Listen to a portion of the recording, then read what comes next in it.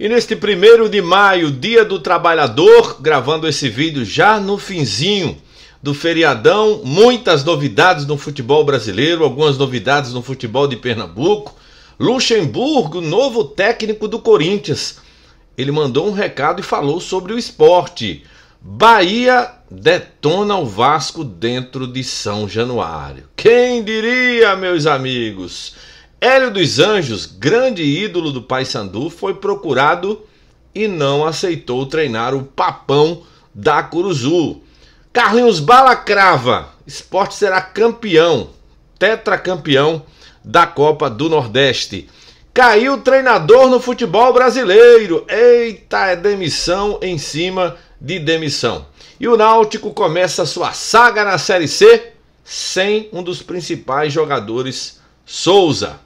Senta, relaxa, já descansou bastante, o feriadão foi grande e curte aí imagens da Frutíssimo Recife, paletas, picolés, salgados, uma situação importantíssima que é aberto de domingo a domingo à disposição de, de sua família. Olha só, tem açaí, tem milkshake, tem vários sabores, deliciosos sabores à sua disposição. Eu estou falando da Frutíssimo Recife.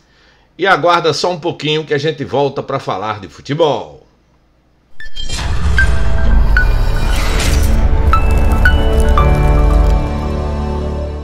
Alô, meus amigos, chegamos com mais um vídeo aqui no nosso canal WA Repórter 100. Eu sou Wellington Araújo e falo do futebol de Pernambuco, do futebol do Nordeste, do Brasil e às vezes do futebol internacional. E aí, descansou no feriadão ou tomou todas no feriadão?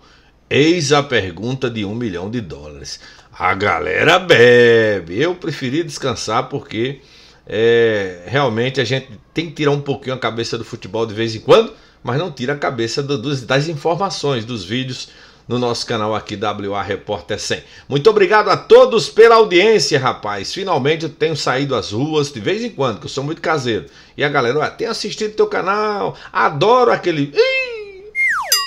É, meus amigos, a galera gosta. Bom, gente, vamos começar aqui pela pauta do programa de hoje. E a pauta pede para você se inscrever no canal, deixar o like, compartilhar o nosso conteúdo com seus amigos e apertar o sininho para receber as notificações. Faz isso aqui, ó. Deixa o like.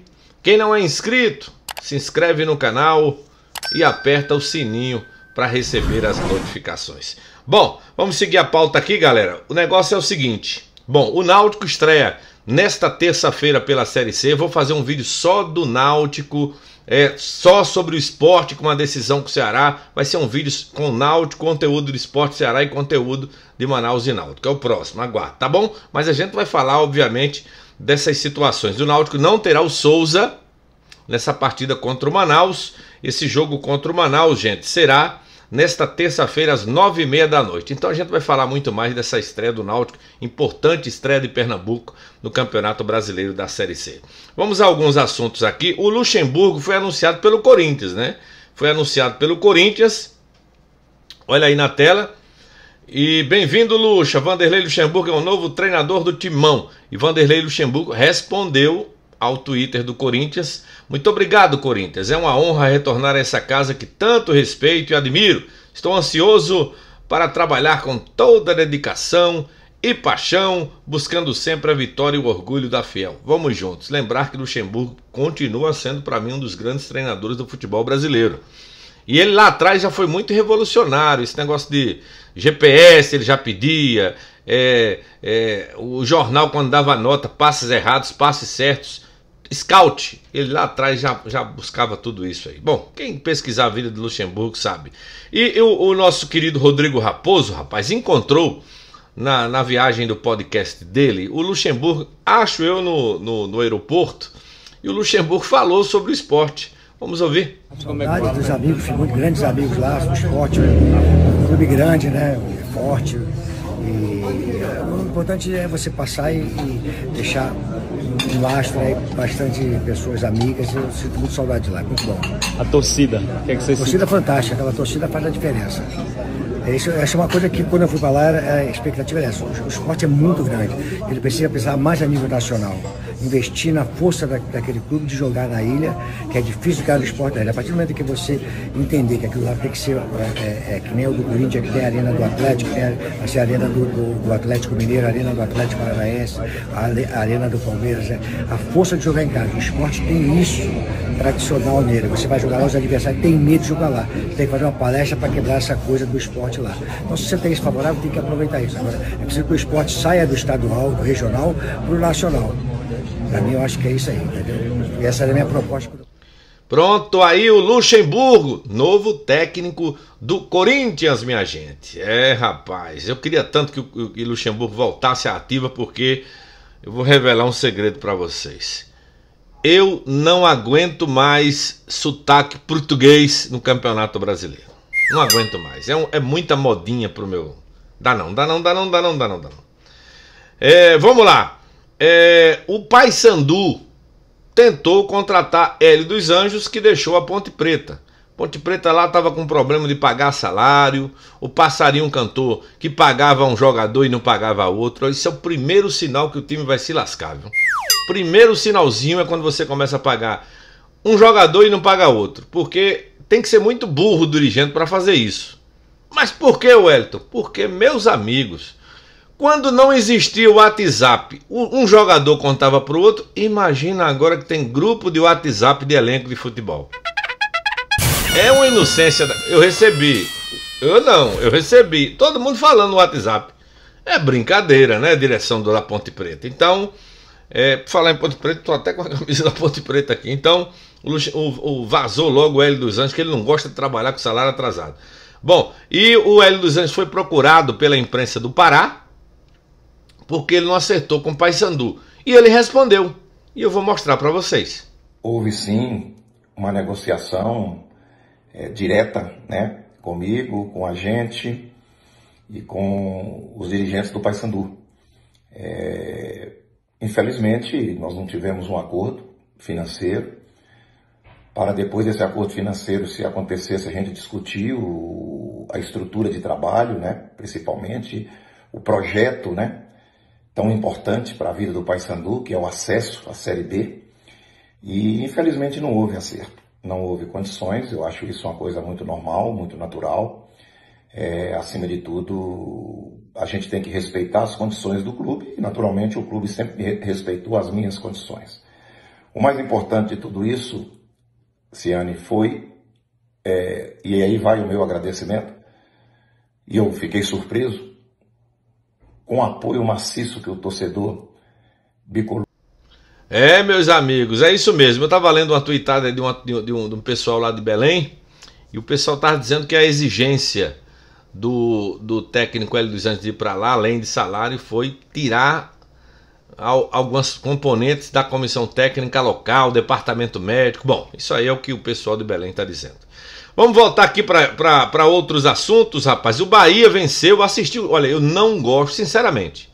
Faz parte da minha profissão, eu tenho que ficar atualizado, mas quando não tem time de Pernambuco na Série A, eu, se eu assistir o campeonato todo, três jogos assisto muito. Eu parei para ver Vasco e Bahia. E o Bahia venceu por 1 a 0 jogando muita bola. Muita bola. O Bahia que não tinha pontuado ainda na Série A. E olha só a classificação e como ficou. O Bahia venceu de um, era para ser tido uns quatro, viu? Vasco da Gama muito desorganizado. É, no jogo dessa partida. Olha, o Botafogo com nove pontos. Olha, campeonato, com todo respeito, viu, gente? Campeonato que o Botafogo é líder é fake. Não, não vá nessa história, não, que ele não, não, não dura muito, não. Fortaleza vice. Olha outra aí, outro fake.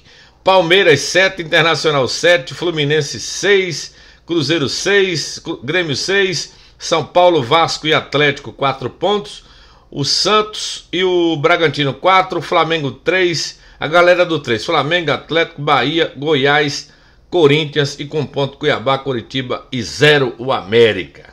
Entenderam, né? Botafogo, meu irmão. É os cavalinhos do Paraguai, que quando, quando aparece no, no futebol de Pernambuco. Olha só, o. O, o Carlinhos Bala cravou que o esporte será tetracampeão da Copa do Nordeste. Carlinhos Bala. Tá, o pessoal do Ceará tá retado com ele. Carlinhos Bala, tome, tome, tome. A figuraça o Carlinhos Bala. Mas antes de mostrar Carlinhos Bala provocando de novo o Ceará, Faz isso aqui, gente. Deixa o like.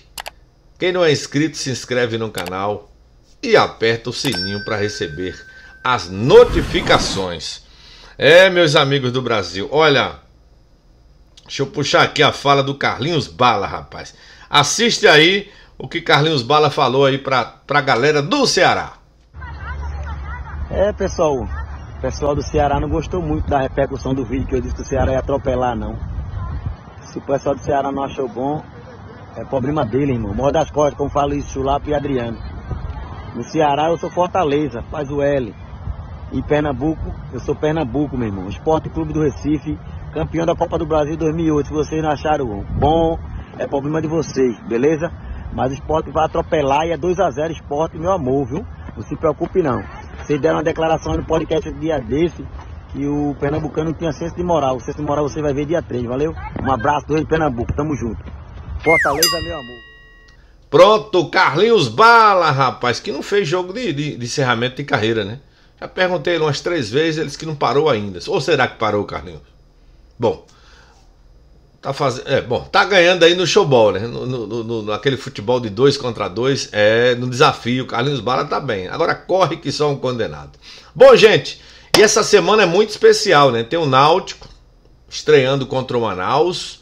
Próximo vídeo vamos falar muito mais. E tem a grande final da Copa do Nordeste. Todos os ingressos vendidos. E eu não sei porque, sinceramente, eu vou falar para vocês agora uma coisa que eu tenho acompanhado, Papa. Eu não sei por que tanta preocupação do Ceará, ou dos cearenses, ou da crônica cearense, parte dela, com a Ilha do Retiro. Sinceramente, não, porque a ilha tinha que ser na arena, não sei o que. Gente, cada um cuida do seu. Se o Ceará não tem campo, problema do Ceará. O esporte tem estádio. Ah, mas só cabe 26, 30 mil. Olha, a Ilha do Retiro ela cabe mais de 30 mil pessoas. Aliás, antes das ampliações já coube até 50. Mas aí a política da polícia e dos bombeiros foi apertando, apertando, o cimento foi encolhendo e o povo também. Mas a gente entende, por exemplo, que o jogo contra o Coritiba, o esporte perdeu 4 a 5 mil torcedores na Ilha do Retiro. Por que, Wellington? Porque veio 50 gato pingado do Coritiba numa arquibancada que cabe 4 mil. Então, gente, é, é, não sei como o esporte resolveria isso. De colocar torcida visitante em outro setor, principalmente de pouca gente. Porque você perde uma arquibancada inteira para 40, 50 pessoas. Isso, no meu, no, no meu tempo, se chamava prejuízo. E voltando ao assunto do, dos cearenses, o, meus amigos do Ceará, torcedores do Ceará, vocês venham para a Ilha do Retiro, serão muito bem tratados. Agora, a Ilha do Retiro, o esporte jogando na final, o bicho pega, gente. Quem não conhece, venha ver. O bicho pega. Vai ser casar, casar, vai ser pressão. O esporte tem um time bom. E eu acho difícil, essa é a minha opinião. Acho difícil o esporte perder essa Copa do Nordeste. Então, aguardemos as cenas dos próximos capítulos. Eita, rapaz, ia encerrando o vídeo sem lembrar vocês do Pix, gente. Final de semana a galera viajou, todo mundo esqueceu do repórter aqui. Ajude no Pix. Olha ele aí na tela o endereço, welaraújo@hotmail.com. Você abre o aplicativo do banco, bota esse endereço aí, ó. W E laraujo@hotmail.com, faz uma doação, qualquer valor será muito bem-vindo ao nosso canal. Isso incentiva o repórter a trabalhar mais e mais para levar conteúdo para vocês. Beleza? Olha, vamos aqui descarregar vários vídeos é, ao longo aí de 4, 5 horas de distância. Beleza? Saúde acima de tudo.